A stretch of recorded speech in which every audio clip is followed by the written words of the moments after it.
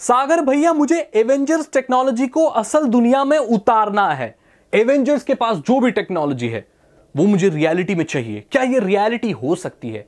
अब मेरे भाई एवेंजर्स में अगर कोई टेक्नोलॉजी में सबसे आगे हैं तो वो है Mister Tony Stark the Iron Man मुझे नहीं लगता पूरे मार्वल में, पूरे उसमें टेक्नोलॉजी के मामले में अगर कोई सबसे स्मार्ट आदमी है तो उनसे कोई स्मार्ट आदमी है। हालाँकि उनके कैरेक्टर को ऑफिशियली डेड कर दिया गया है इन मूवी सीरीज़ में। लेकिन ऐसे बहुत सारे सवालों को वो पीछे छोड़ गए हैं, जो कि आज तक हम सोचते हैं कि क्या वो सच्चाई हो सकती है? क्या वो इस दुनिया में मेरे दोस्त सही हो सकता है या नहीं हो सकता है?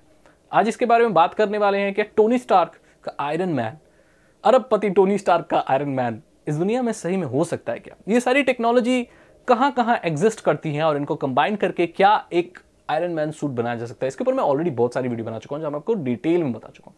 लेकिन आज फिर से बात करते हैं डिटेल में। सबसे पहली बात करते हैं आर्टिफिशियल इंटेलिजेंस की। क्योंकि आयरन मैन का जब सूट मूवी में बना था तो मेरे भाई सबसे पहली चीज़ जो ऑलरेडी वो प्रोसेस करते थे वो था एक आर्टिफिशियल इंटेलिजेंस खुद का उनका एक असिस्टेंट जिसका नाम था जार्विस अब ये जो जार्विस है, ये क्या था? ये एक एआई बेस्ड असिस्टेंट था। जैसे कि आपके फ़ोन में अभी आपको देखने को मिलता है गूगल असिस्टेंट ये उसी की चरम सीमा पर पहुँच के अगर कोई चीज़ बनी तो वो जार्विस है।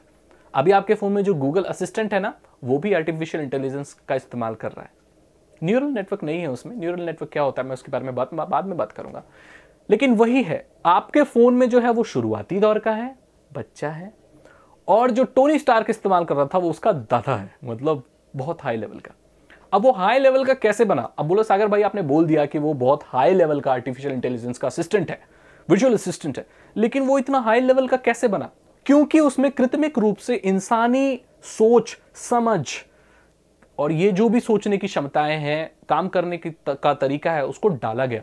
बोलेंगे सागर भाई ये मशीनों में इंसानों की तरह सोचने का तरीका कैसे डाला जाता है? उसका एग्ज़ाम्पल है न्यूरल नेटवर्क इंसानी दिमाग को स्टडी किया गया पहले इस आर्टिफिशियल इंटेलिजेंस को या ऐसी चीज़ों को बनाने से बनाने से पहले उसको स्टडी किया गया कि हमारा जो न्यूरल नेटवर्क है हमारे ब्रेन के अंदर न्यूरल नेटवर्क्स होते हैं अलग अलग नोड्स होते हैं डेंड्राइड्स होते हैं न्यूरॉन कैसे काम करता है आपने बायोलॉजी में पढ़ा होगा। उसी रूप से मिमिक करने का, कृत्रिमिक रूप से ऐसे एल्गोरिदम्स क्रिएट करना।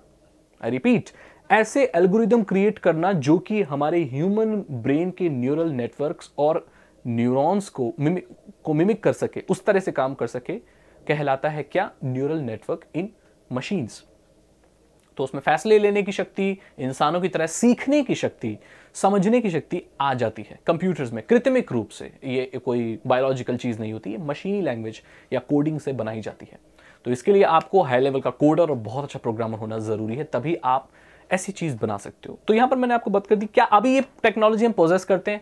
जी हाँ ये टेक्नोलॉजी हम प्रोजेस करते हैं, लेकिन उस लेवल तक नहीं करते, जिस लेवल का जार्विस को दिखाया गया है आयरन मैन मूवी में।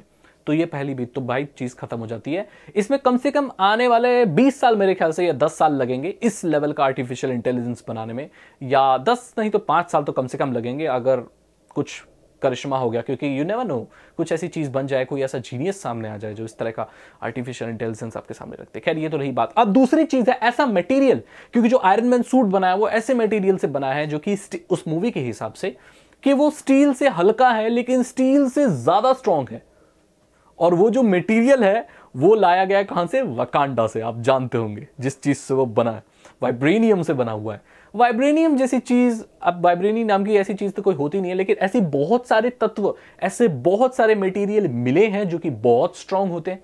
एक फैक्ट बताऊँ मैं आपको, जो मकड़ी का जाला होता है ना, मकड़ी का जो स्ट्रैंड होता है जाला, अगर उतना ही पतला स्टील का जाला बनाया जाए तो उससे ज़्यादा स्ट्रांग मकड़ी का जाला होता है। इस दुनिया में अभी बहुत सारी ऐसी चीज़ें हैं जो एक्सप्लोर नहीं की गई।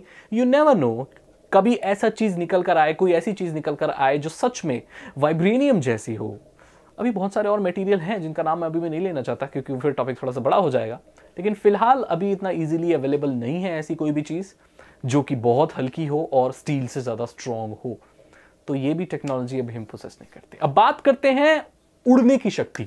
लाइक like जो भी वहाँ पर जेट इंजन लगे हुए हैं, पैर में, हाथ में लगे रिपल्सर ब्लास्टर वगैरह लगे हुए तो क्या ये हम पोजेस करते हैं? जी हाँ ये टेक्नोलॉजी हम पोजेस करते हैं। फ्लाइंग मैन देखने को मिला है ऐसा सूट देखने को मिला है जिन्हें पहनकर आप जेट इंजन है हाथ में दो दो जेट इंजन है कमर पर एक जेट इंजन है और आप उड़ सकते हैं बेसिकली जैसे आयरन मैन उड़ता है। लेकिन वो जो इंजन है वो जो सूट है वो उस तरीके से नहीं दिखता जैसे आपको आयरन मैन में देखने को मिलता है। आयरन मैन का सूट बहुत ही एस्थेटिक है बहुत ही पतला है।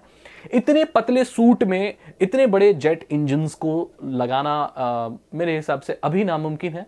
वैसे नामुमकिन जैसी कोई चीज़ नहीं होती, बहुत मुश्किल है, क्योंकि वो जो देखने को मिला अभी सही वक्त में वर्ल्ड रिकॉर्ड भी बनाया किसी ने राइट आप अगर यूट्यूब पे करोगे फ्लाइंग सूट जेट सूट आप बोलोगे तो आपको देखने को मिलेगा।